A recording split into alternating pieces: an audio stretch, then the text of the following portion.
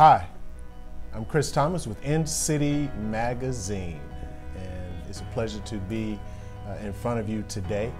Uh, today we have Demetris Curry with the Demetris Curry Insurance brand. Uh, uh, I've seen uh, insurance wellness strategist. Yes. Uh, introduce yourself to us. Hello, everyone. Demetris Curry. I'm an insurance strategist, wellness agent. Thank you for joining us. Demetris, um, insurance wellness strategist. Yes. Explain that to us. Well, it's a all-around approach to a circumstance for my clients. We look at all of their insurance needs from beginning to end, and we make sure everything that they need is suitable for what we put them in. And so it's a more customized approach to insurance carriage and also for production and retirement in the future. Okay. Now, I took a look at your bio and was really moved with the reasons you entered into the insurance industry. Um, can you share that with our audience? Thank you. Well, many years ago, um, I lost my grandfather uh, in high school, and my mom, who is a only child for my grandfather at the time, she had to really get into paying for his funeral arrangements. He didn't have any coverage. Uh, we had to relocate him from Florida to Alabama. And as a single mother, it was a stress, a continuous stress on her uh, to come up with the money to do so.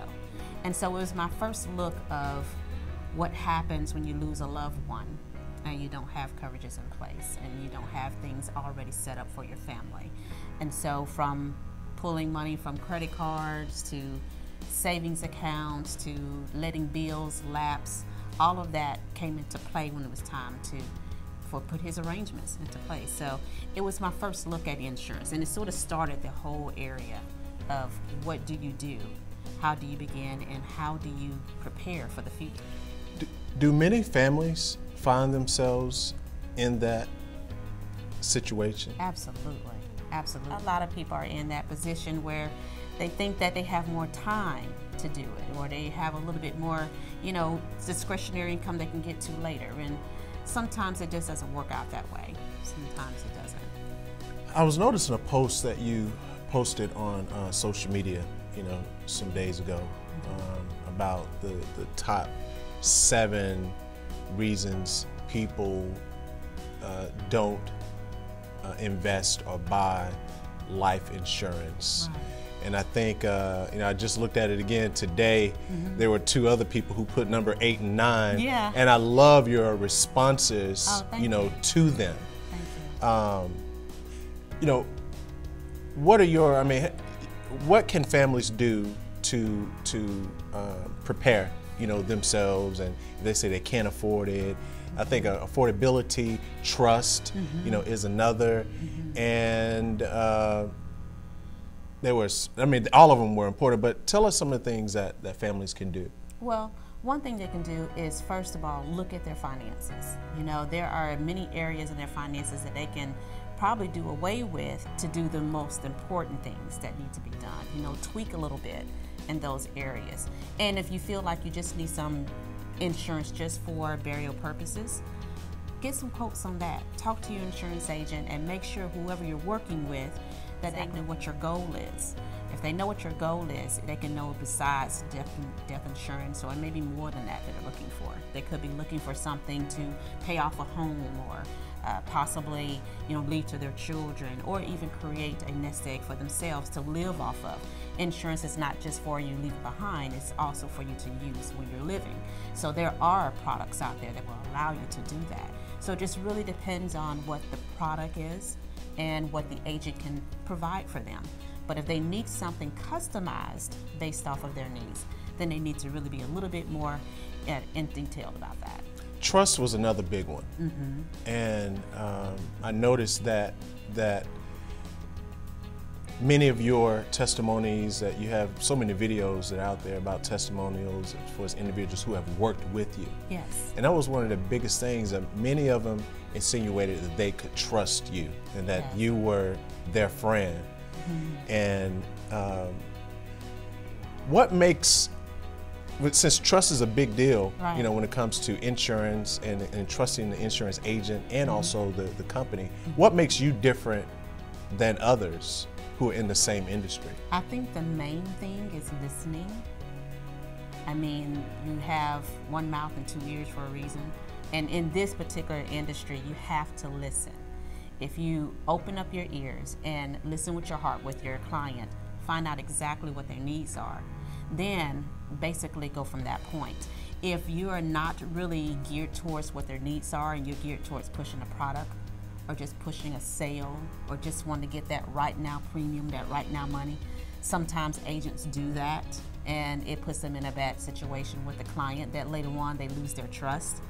But if you put their needs first, then that trust will automatically come because they feel like they can count on you, they can call you for questions, you're always accessible. All of that is vitally important when you're living with the livelihood of something like insurance. Do many people, uh, you, do you think that many people are aware that that once a life insurance pays out, that it's uh, you know for we, we will hope that it don't pay out because uh, uh, that means that someone had, that loved one has to have passed. But um, do you think many people know that life insurance is actually tax-free money? No. and I think because it's how it's paid for, um, depend on who pays it, if it's the insured or the beneficiary or who's ever paying for it.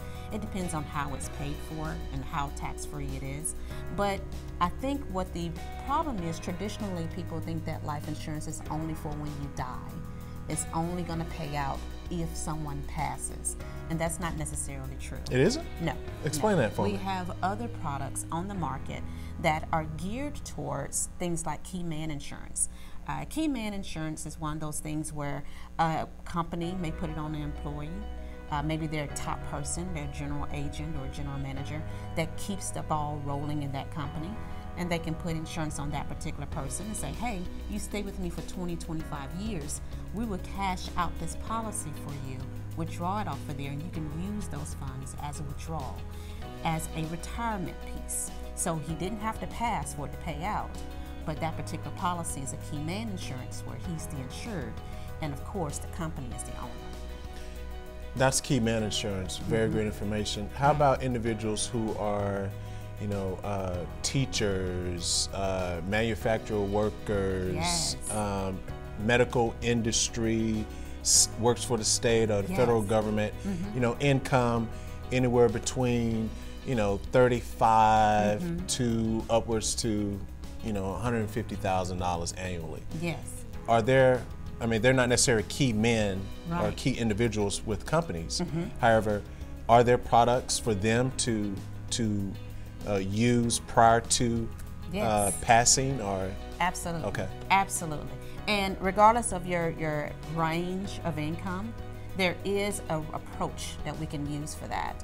But you do not have to be a, a company to own it. You can be an individual, you know, worker. You can be a teacher. You can be a business owner. You can be all of those things. Have this same type of insurance, customize it in such a way where it will allow you to not only have, you know, cash you can pull off of it, tax advantaged later on in life, for retirement, to buy your own home, to buy your own franchise, to buy all kinds of things that you can use those monies for.